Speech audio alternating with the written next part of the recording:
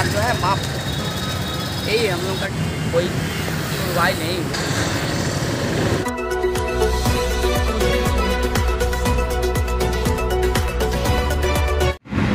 Public action news जनता की आवाज़ में आप सभी को स्वागत है। आज ये लोग उपायुक्त कार्यालय में धरना दे रहे हैं। धरना किस चीज़ का दे रहे हैं पहले इन लोगों से जान रहे हैं। उसके बाद आप लोगों को बताएँगे कि धरना किस का- अ, यहाँ पे आप लोग डीसी ऑफ़िस में धरना कर रहे हैं। धरना आप लोग इस किस बात को लेकर हैं? कि झारखंड में जो सरकारी बस चलती है उसमें जो बीपीएली लोग हैं उन लोगों का जो भाड़ा है उसमें 50 परसेंट का लिए हम लोग माननीय मुख्यमंत्री जी को हम लोग पत्राचार किए हैं लेकिन अभी तक कोई सुनवाई नहीं हुआ। पत्रकार किए थे? करीब छः महीना पहले हम लोग किए थे लेकिन अभी तक कोई सुनवाई नहीं हुआ। सुनवाई नहीं हुआ तो आप लोग मतलब इन लोगों को सुनवाई छः महीना पहले ये लोग पत्रकार किया है, लेकिन इन लोगों का बात को सुनवाई नहीं हुआ तो आज इन लोगों को धरना पे बैठ, बैठना पड़ रहा है। आगे हम सर से बात करेंगे। ये राष्ट्रीय जनसेवक समिति के द्वारा, जो कि सरकारी बसों में 50 परसेंट आरक्षण का बात किया जा रहा है मतलब मतलब ये किराया माफ़ी का बात किया जा रहा है। ये ये जनता के लिए बहुत ही अच्छा हित के, का बात ये लोग उठा रहा है, जो कि राष्ट्रीय जनसेवा समिति। सर, और थोड़ा कुछ इसमें आप विस्तार पूर्वक बता सकते हैं? इसमें क्या है कि जो गरीब लोग हैं उन लोगों को सहूलियत होगा। कहीं बाहर जाने के लिए उन लोगों को बड़ी सोचना पड़ता है। जो जिसका पास पैसे पैसा है उन लोगों को तो कोई दिक्कत नहीं है।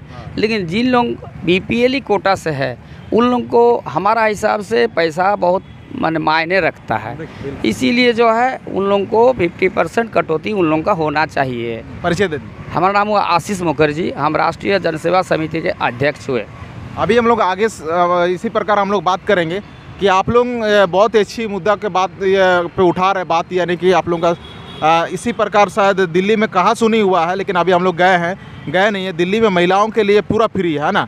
इस प्रकार आप लोग, झारखंड में, हम लोग भी सुने, हमको भी कभी यात्रा नहीं किए कभी किसी से पूछे नहीं है, लेकिन आप लोग झारखंड में बीपीएल वाला लोगों के लिए 50 परसेंट छूट का बात कर रहे हैं। किस प्रकार से बात कर रहे हैं कहाँ तक किसको किसको बता रहे हैं, थोड़ा बता हम लोग इसमें मुख्यमंत्री जी को ज्ञापन दे दिए हैं पत्रचार के द्वारा, और छः महीना हो गया लेकिन हम लोग का कोई जवाब नहीं आया।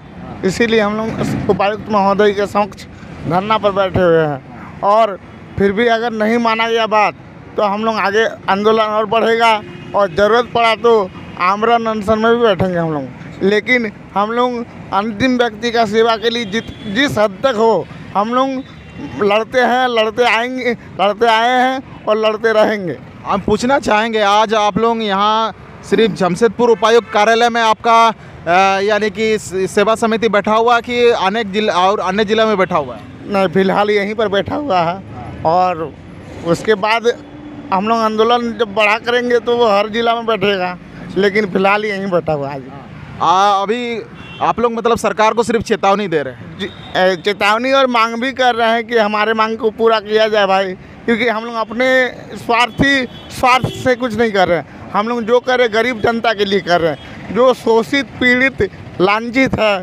जो दाना दाना के लिए मोहताज है लाल कार्ड से घर चल रहा वो रांची जाने में कोई अवसर तो दे देगा दो सौ पाँच सौ रुपया। लेकिन एक गरीब आदमी जिसका बेटी रांची में भर्ती है वो कहाँ से लाएगा?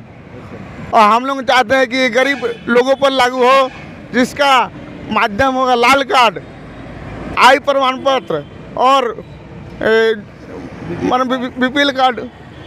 ये सब लागू हो। ये सब परिचय दे दीजिए। राष्ट्रीय जनसेवा समिति के महासचिव गणेश दास। बिल्कुल ये लोगों का मुद्दा बहुत जायज़ है। काहे कि जिस हिसाब से बीपीएल कार्ड बादारी बहुत वो लोगों को यात्रा करने में परेशानी होती है। वो लोगों को अगर किराया माफ़ होता है तो वो लोगों का बहुत सारा सपोर्ट मिलेगा। आगे भी हम लोग सर से बात करेंगे। सर आ, बत, बत, बताइएगा कि ये झारखंड का किस हिसाब से आप लोग सरकार को झुकाना चाहते हैं? और अगर सरकार नहीं मानती है तो आगे का रणनीति आप लोग का क्या होगा? हम सरकार को झुकाना नहीं चाहते हैं ये लोकतांत्रिक देश है और हमारा बात को माना जाएगा और हम जो बैठे हैं आज धरना में ये हमारा संवैधानिक अधिकार है और जनता के हित में किराया माफ़ी जो है 50 परसेंट बी कार्ड धारकों के लिए ये जाए ये मानना है कि हेमंत सोरेन जी हमारी मांग को मानेंगे और अभी तक तो नहीं माने हैं और लगभग छः महीने से हम लोग कंटिन्यू इस पर लगे हुए हैं। और धरना अभी आज दे रहे हैं। ज़रूरत पड़ेगा तो हम लोग भूख हड़ताल में बैठेंगे। हम लोग आमरण अनशन करेंगे। और भी लोकतांत्रिक प्रक्रिया के तहत जो भी हमारी अधिकारें हैं उनका हम सब उपयोग करेंगे और अपना हक हम लेकर रहेंगे। हाँ, बिल्कुल। आप लोग अभी देखा जाए तो जनसंख्या में कमी है तो आप लोग आप लोग पदाधिकारी सिर्फ़ आए हैं कि आप लोगों का और भी जनसंख्या आने का उम्मीद है आगे? नहीं, जनसंख्या हमारा कमी हम इस बात को नहीं मानते हैं। गुरु नानक जी ने कहा था कि सवा लाख से एक लड़ाऊँ हमारे पास अभी मोटा मोटी दस जन लोग हैं तो हम दस हज़ार के बराबर हम मानते हैं खुद को। हमारा जनसंख्या हम बहुत ज़्यादा मान रहे हैं, इसीलिए हम लोगों के भीड़ पर विश्वास नहीं करते हैं। हम आत्मबल पर सच्चाई और ईमानदारी पर विश्वास करते हैं। और अपना हक मांगने के लिए हमें भीड़ की आवश्यकता नहीं है। हमारा ईमान सही होना चाहिए हमारा मांग सही होना चाहिए। इस पर हम विश्वास करते हैं। नहीं। तो परिचय दे दीजिए सर। हमारा नाम हुआ गौतम मुखर्जी। हम राष्ट्रीय जनसेवा समिति के उपाध्यक्ष हैं और उन्नीस सौ निन्यानवे से हम जनता के हित में अपना काम करते आए हैं और हम अपना अधिकार को पूर्ण रूप से लेंगे और सरकार हमें खुशी से देगी। और हम अपना मांग को मनवा ही लेंगे। ये हमारा पूर्ण विश्वास है। जिस हिसाब से हम लोग ने देखा कि ये राष्ट्रीय जन सेवा समिति के द्वारा ये लोग ने 50 परसेंट ये आ, मतलब भाड़ा मुक्त मुक्त करने के लिए ये लोग बोल रहे हैं। ये लोगों का कहना है कि ये बहुत अजीब मतलब बहुत मतलब देखा जाए तो बहुत अच्छा मांग है। गरीब लोगों के लिए एक लोग मसीहा के रूप में मतलब एक अच्छा मांग कर रहे हैं जो कि यानी कि जनता की आवाज़ जनता लोग इसका समर्थन में भी है लेकिन ये लोग पदाधिकारी लोग है और ये लोग अपना ये कर रहे हैं। बहुत ही अच्छी बात है। पब्लिक एक्शन न्यूज़ ये जनता की आवाज़ में पुनः हमारे ओर से आ, पूरा जोहार धन्यवाद।